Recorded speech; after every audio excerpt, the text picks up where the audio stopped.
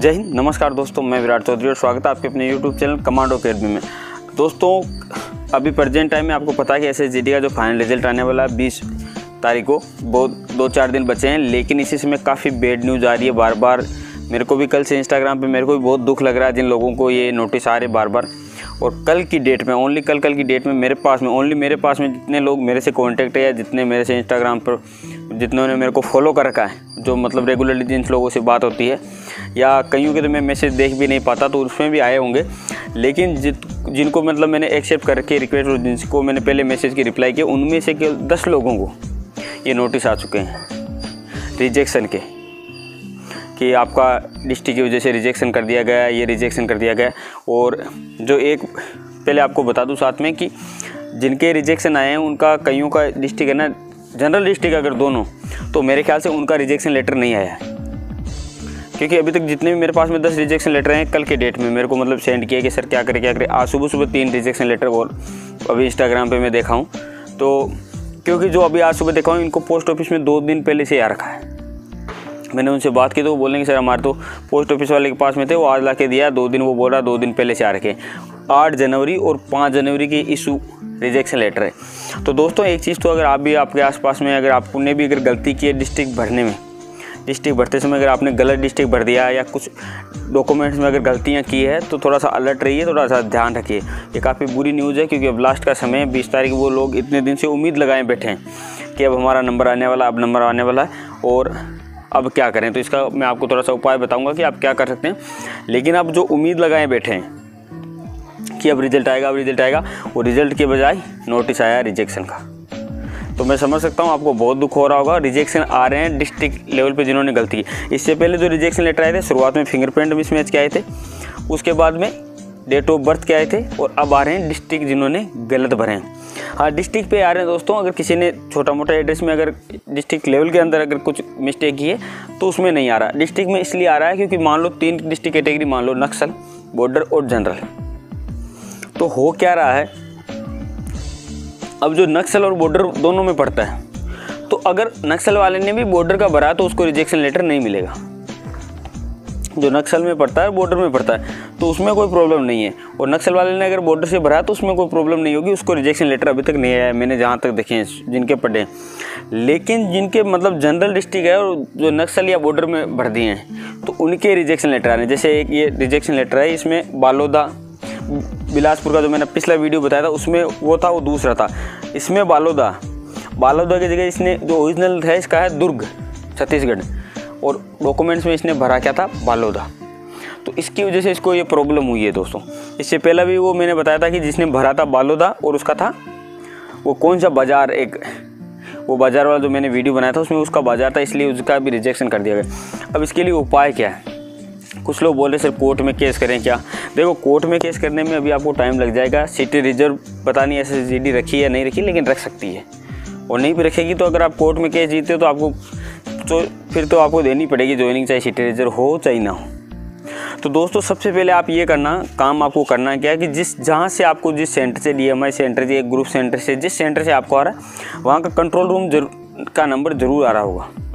तो वहाँ पर कंट्रोल रूम में कॉल करिए। अगर कंट्रोल रूम का नंबर नहीं आ रहा है तो आप गूगल पर सर्च कर लीजिए, वहाँ पर कंट्रोल रूम नंबर हमेशा अवेलेबल होता है। कंट्रोल रूम में कॉल करिए और बताइए कि ऐसी ऐसी प्रॉब्लम है, अब मुझे क्या करना होगा या मैं क्या कर सकता हूँ। तो आपको कुछ ना कुछ समाधान ज़रूर देंगे। अगर वो समाधान ना दे तो फिर आप कोर्ट की मदद ले सकते हो। तो कोर्ट की मदद लेने से पहले आपको क्या करना है कि जिस ग्रुप सेंटर डीएमआई सेंटर से आपको कॉल में वो आ रहा है, उसमें कॉल करके पता करना है कि अगर वो कर सकते हैं अपने स्तर पे तो ठीक है। अगर वो नहीं कर रहे हैं कि हम नहीं कर सकते, कुछ भी नहीं होगा, फिर आप वकील की राय लेके और कोर्ट में केस डाल दीजिए दोस्तों तो शायद आप कोर्ट केस दिए जाओगे अगर आपके अच्छे मार्क है और क्योंकि गलती हो जाती है फॉर्म भरने में तो ज़्यादा चिंता करने की ज़रूरत नहीं, फिर आप कोर्ट केस ज़रूर डाल दीजिए दोस्तों। तो फिर आप ज़रूर जीत जाओगे कोर्ट केस थोड़ा सा टाइम लग सकता है, लेकिन हाँ रिजेक्शन वालों को ज़्यादा हताश या परेशान नहीं होना है। आप पहले वो काम करिए, इसके बाद में ये काम करिए। कुछ ना कुछ नतीजा ज़रूर निकलेगा दोस्तों। भी पॉजिटिव आपके साथ में ज़रूर पॉजिटिव नतीजा निकलेगा, क्योंकि आप तीन, चार साल आपकी ख़राब हो गई, इस चक्कर में कि आपका रिज़ल्ट आएगा, आपका नंबर आएगा, और लास्ट में जाके आपको ये सब सामने, सामना करना पड़ रहा है। तो ये एक बहुत ही बुरी बात है। चाहे किसी भी इंसान के लिए, क्योंकि रिज़ल्ट का टाइम है, अब सभी ने उम्मीद लगाए बैठे थे कि मेरा नंबर आएगा, मेरा नंबर आएगा, नंबर की वजह से अगर रिजेक्शन लेटर आ रहा है, पहले मेरिट से पहले मेरिट में नंबर आए ना आए, वो एक अलग बात है कम से कम। उससे पहले रिजेक्शन लेटर आना बहुत ही बुरी बात है। और वो भी केवल दो चार दिन पहले। तो जितने भी लोगों को आ रहा है, साथ में जिन लोगों को गलती हो रखी है, फार्म भरते समय कोई किसी भी प्रकार की पहले बता रहा हूँ कि जिन लोगों से गलती हो रखी है, अगर फार्म भरते टाइम किसी भी प्रकार की तो अपने पोस्ट ऑफ़िस से ज़रूर कनेक्टेड रहिए दोस्तों। क्या पता आपके नाम का भी आ रखा हो, और अगर आपने गलती नहीं की है, फिर तो आपको कोई चिंता नहीं, लेकिन अगर आपने किसी भी प्रकार के फॉर्म भरते समय गलती की है, चाहे वो किसी भी प्रकार हाँ अब रोल नंबर की बात मत कर देना कि रोल नंबर लिखते समय मैंने डोट लगा लिया। या फादर्स नेम मिस्टेक हो गया, मदर्स नेम मिस्टेक हो गया, इनमें कोई नहीं भेजेगा। जिस चीज़ से आपको आरक्षण मिलता है, जैसे अगर कोई जनरल कार ओबीसी लगा दिया तो उसको प्रॉब्लम होगी। अगर कोई जनरल का एसी लगा दिया, उसको प्रॉब्लम होगी। या कोई ओबीसी का, उसने एस सी का कुछ लगा दिया तो प्रॉब्लम होगी।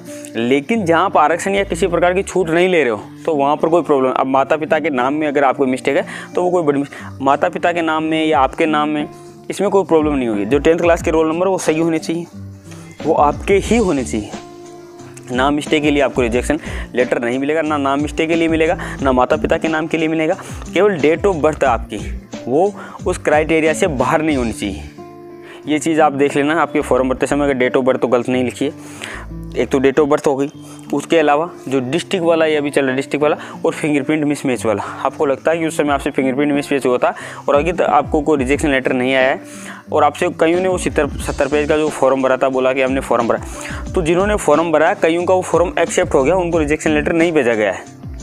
तो आपको चिंता करने की ज़रूरत नहीं है, जिनको रिजेक्शन लेटर नहीं भेजा गया है, और कईयों को अगर खुद के नाम में भी प्रॉब्लम है तो भी कोई प्रॉब्लम नहीं होगी। तो जिनके सत्तर नम वो पेज भरा था, सत्तर पेज वाला जिसने फॉर्म जिनके फिंगरप्रिंट मिस मैच हुए थे, उनको बता दूँगी उनमें से सभी को रिजेक्शन लेटर नहीं है कईयों को आया, कईयों को नहीं आया। कईयों का मतलब केवल पाँच परसेंट के।